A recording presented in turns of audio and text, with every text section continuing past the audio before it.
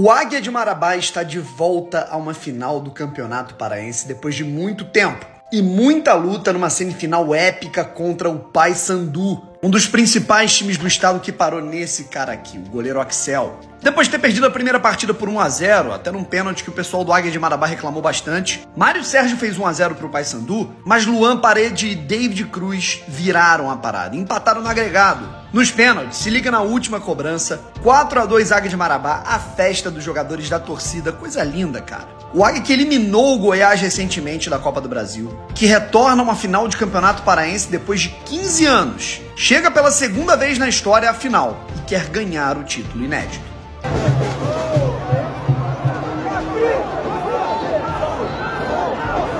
Acabou, cara!